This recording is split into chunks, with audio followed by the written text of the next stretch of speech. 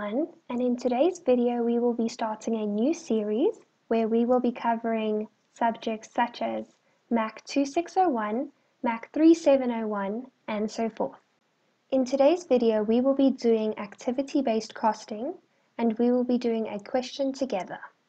Alright, let's begin. Activity-based costing or the ABC method is a costing method that identifies activities in an organization and assigns the cost of each activity to all products and services according to the actual consumption by each.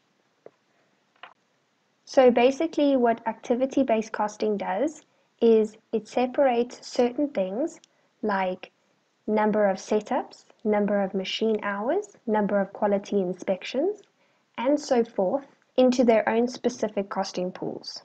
And basically we find out how much each activity is costing the business specifically. So like we're making a thousand units, we will see how much money it costs to run the machines for a certain amount of hours in order to produce that number of products and so forth.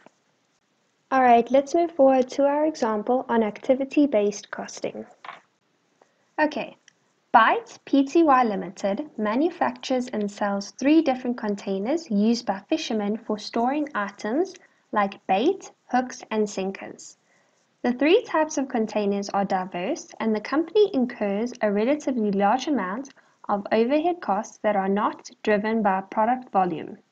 The company is applying activity-based costing ABC to allocate fixed manufacturing overheads to its products.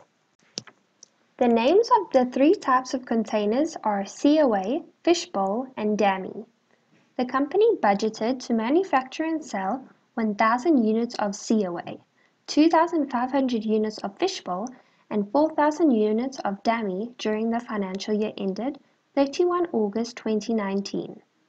No inventory of finished goods are kept.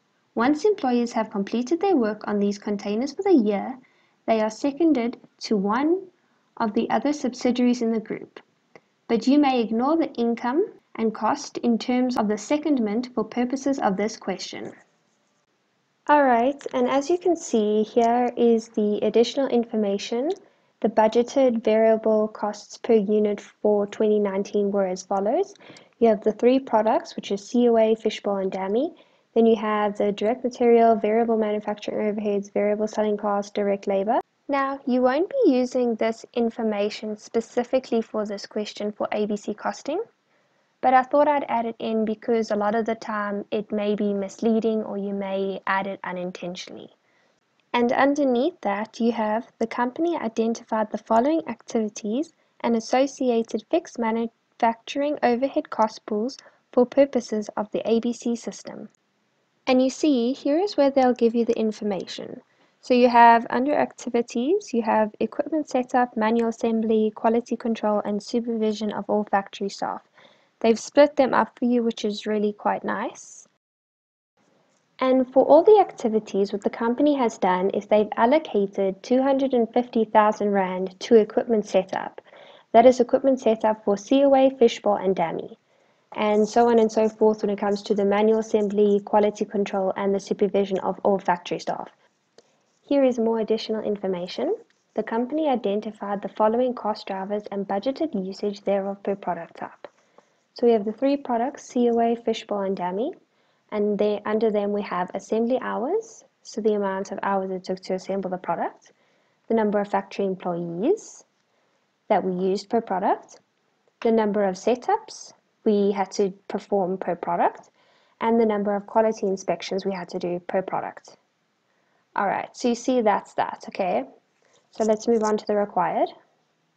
Okay, and with this question, the required is just calculate the budgeted fixed manufacturing overheads in total that will be allocated to the 2,500 units of fishbowl if ABC is applied.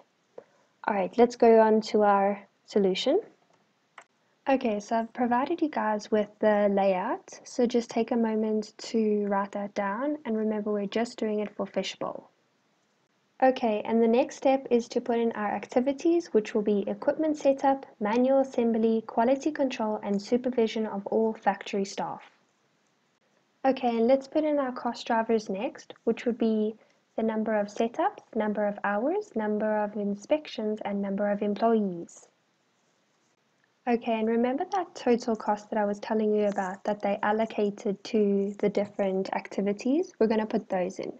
So that would be the 250,000 for equipment, the 210,100 Rand for the manual assembly, the 90,000 Rand for quality control, and the 150,000 Rand for supervision of all factory staff.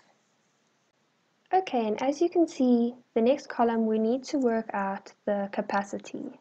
So we're going to go back to our additional information and we're going to look at the total capacity we have for all of the activities. So here we have uh, what will be allocated to our activities, so the assembly hours, the number of factory employees, the number of setups, and the number of quality inspections. So what we're going to say is we need to add up our capacity. So we have 170 hours for COA, 580 hours for fishbowl, and 350 hours for DAMI. We're going to add them all together and that's going to give us our 1,100 hours total capacity that we have for the three products. Not how many units, just for the three products. So we have 1,100 hours that we have available to use for these three different products, okay? We're going to be doing the exact same with the number of employees, the number of inspections, and the number of setups. So let's go put that into our capacity.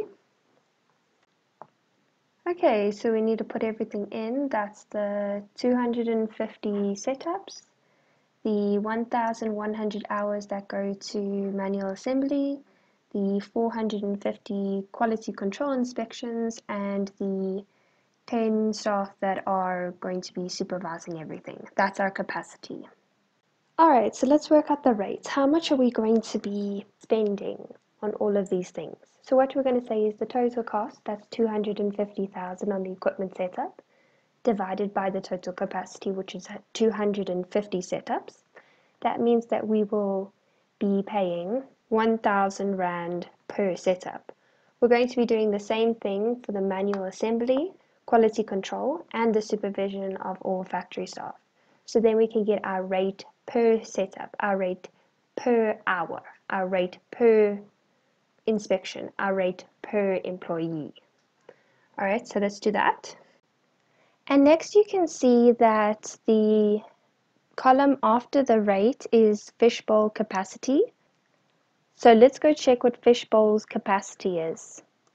So as you can see in our additional information that fishbowl, we have all of their capacities. So we have their assembly hours, which is 580, their number of factory employees, which is 4, the number of setups, which is 90, and the number of quality inspections, which is 200. So let's go put that into our solution. So here, under fishbowl capacity, we will be putting 90 setups, 580 hours, 200 inspections, and 4 people. And the final thing that we will be doing is we will be timesing the fishbowl capacity by the rate. So a thousand rand per setup times 90 setups gives us 90,000 rand. 109 rand per hour times 580 hours gives us 110,780. 200 rand per inspection times 200 inspections gives us 40,000 rand. And 15,000 rand salary per person times 4 people gives us 60,000 rand. Alright, so we're just going to put those final totals in there under fishbowl cost. Now what we're going to do is we're going to add them all together. 90,000 Rand plus 110,780 Rand plus 40,000 Rand plus 60,000 Rand gives us a total of 300,780 Rand. And that is the total cost of fishbowl to produce 2,500 units. And that is it for today's video. Thank you so much for watching. And if any of you have questions, I do now have a Twitter account for this YouTube channel and I'll link it below.